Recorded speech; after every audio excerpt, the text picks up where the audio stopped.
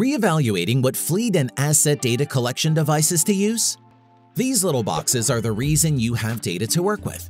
So high-quality hardware is very important for a telematics business to thrive. Here are some aspects you should definitely consider when choosing the right devices for you.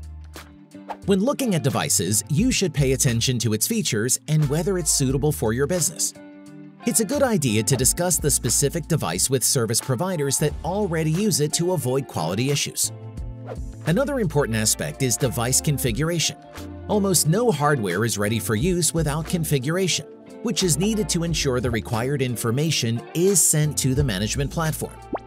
That's why you should make sure to configure the device or use pre-made configurations from the supplier.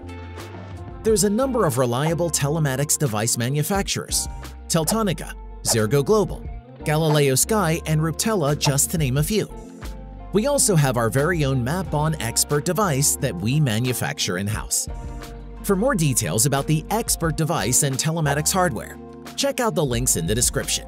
If you are looking to find out more about hardware's best friend and companion, join us next time on Mapon Express Academy as we take a look at telematics software.